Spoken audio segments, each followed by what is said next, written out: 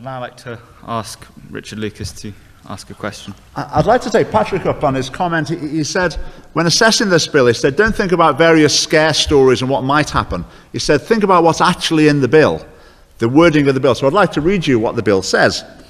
Um, it says, assisted suicide will not be available to all those that the member would ideally wish it to include.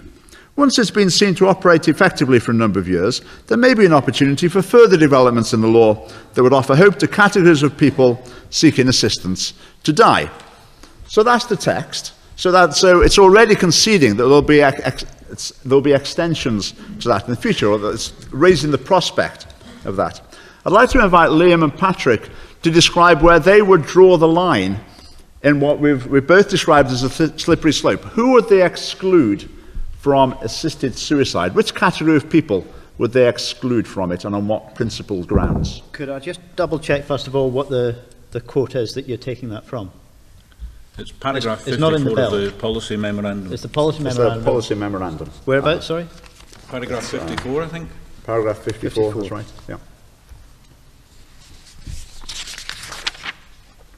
Okay, this paragraph 54 of the policy memorandum, just for, for anyone who's not familiar with the process, when any bill is lodged in the Scottish Parliament, whether it's a member or a government bill, two documents are required. One is explanatory notes, one is a policy memorandum. Sometimes, most often, a third is required, which is a financial statement uh, about the impact on the Scottish Government's budget.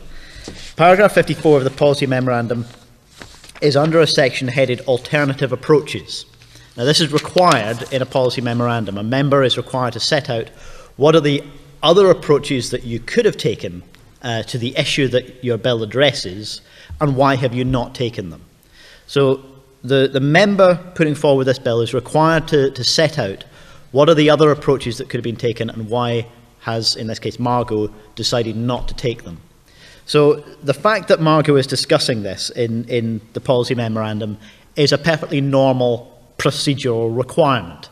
Uh, it's not something that's saying uh, kind of uh, covertly, uh, we're, we're hoping to take this further, but we don't want to tell you. If, if that was the case, it wouldn't have been written down in the policy memorandum.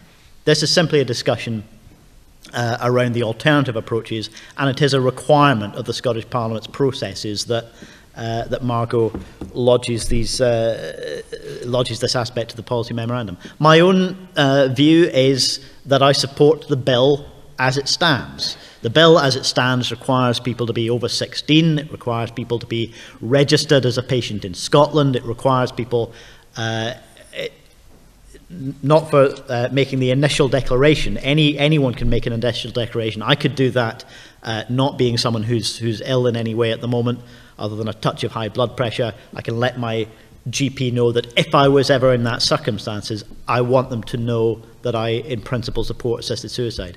But the, the second, third stages and the, the triggering of the facilitator uh, actually getting hold of the drug and uh, supplying it, not administering it, but giving assistance in it being administered, those are things that require somebody having had two steps at each stage, two medical practitioners to say that they are suffering either from a terminal illness or a life-shortening condition.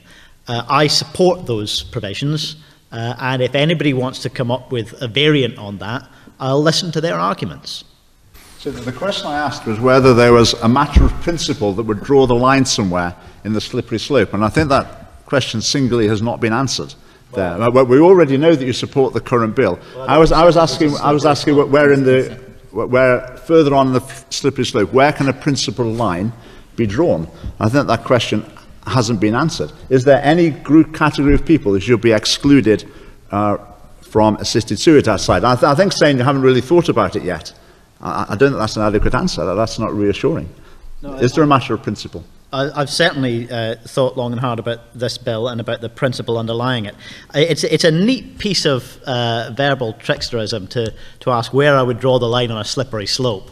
It's rather like, when did you stop beating your wife, that question, isn't it? Because if, if, if you accept the argument of a slippery slope, then it doesn't matter if there's a line drawn on it, it's still slippery. I don't accept the argument of a slippery slope. I accept the argument of parliamentary democracy that parliaments should make a decision about what the law should be. There is no other way, legitimately, to make law in our society.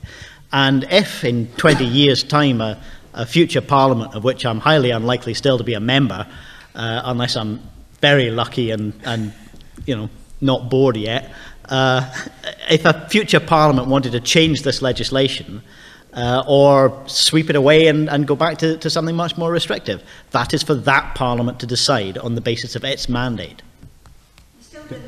So, Sorry, could, sorry. Could, could I just clarify um, the nature of a slippery slope argument? A slippery slope argument is a logically valid argument. Uh, and I presented a logical slippery slope by saying a principle that's been stated has logical implications uh, that will follow. And the way a, slippery, a logical slippery slope argument must be refuted is you must bring in um, a matter of principle that will indicate where, once, where you can draw a line on the slippery slope. There's nothing wrong with slippery slope arguments. It's a valid argument form, and to refute it, you need to say, no, I can draw a line at this point with this matter of principle, therefore this one doesn't follow from this one for this reason. And I think that's what we haven't heard. I, can understand why you would like that to, to be possible. It, it's not possible. Le- legislation doesn't work that way. Society doesn't work that way. we're- we're- no parliament can pass legislation that binds a, a future one.